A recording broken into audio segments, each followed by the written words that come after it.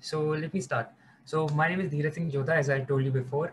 And uh, right now we're going to learn about the change logs, week, uh, uh, weekly change logs. And uh, I'm going to share my experience of working with it and uh, how I went about it and everything from start to end.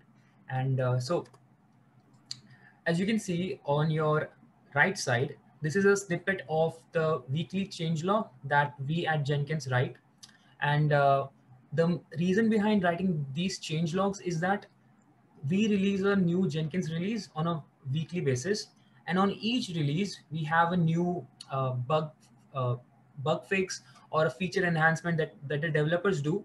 And uh, what this changelog does is it compiles all the things that the latest version of Jenkins uh, shows and uh, releases and just uh, beautifully documents it on the screen. And if you want to check this out right now, so you can go to your uh, uh, browser and just write down jenkins.io slash changelogs.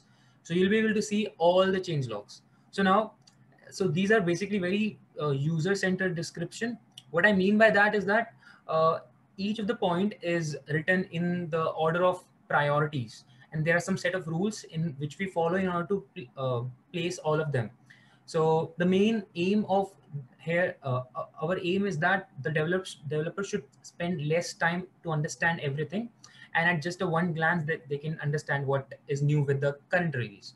So as I said, it, it's released every week and uh, it's definitely human edited with tooling help. So I use a tool, uh, it's a Docker tool, which is used to compile all the pull requests that have been submitted uh, right from the previous changelog that was released.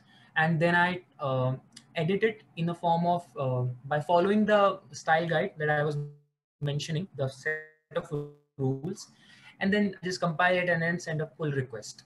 So yes, so this is a very important part. Like I, I really want to share my experience here with everyone so that uh, if anyone is interested to know the process behind it or they want to contribute, then, then it will be really helpful for you. So I started to uh, join Docs Office Hour. Uh, it happens every Tuesday and uh, Thursday as well, optionally, Indian Standard Time. And uh, so I joined them and I interacted with Mark and everyone. And then I watched some videos where Mark was so, showing how to write change logs. And uh, all the videos are available on YouTube channel as well. So you can watch me as well doing all those change logs one by one. So it will be very easy for you to refer them and uh, just re review the recordings and then generate it on your own on your local machine and then just simply submit a pull, pull request and uh, it's it's not complicated that's what i'm trying to say here, because uh, as um, Siddha, Siddesh also asked us about what's the requirement of um, Java that we need to have in order to contribute to plugins. So similarly here as well if you talk about the requirements here it's not something you need to not to be an expert. You just need to have wish to you know do some meaningful contributions here. So it will be really great we can use your help here. So yes. So now i would request aditya to share his experience with us. Thank you dheeraj. Uh, before that there's another question for you in the chat by jyoti again Yes, so please. I, will read the question for you. Can you share how can I join Docs office hours? Is there any meeting link? Awesome. So there's a Gitter link. I'll, yes, that's a great question. So, so if you can see my screen, then, okay, I, I'm trying to understand how to uh, we, we are able to see uh, the Gitter channel if that's what you are trying to see. Yes. So this is the link that you want to click on and you'll be redirected to the place uh, of uh, Gitter channel for Docs Office Hour. Is there any meeting links? Yes. So also you would also love to know about, uh, no, I think it's calendar. Yeah. Events calendar for Jenkins. So this website tells you all about the upcoming events that we have.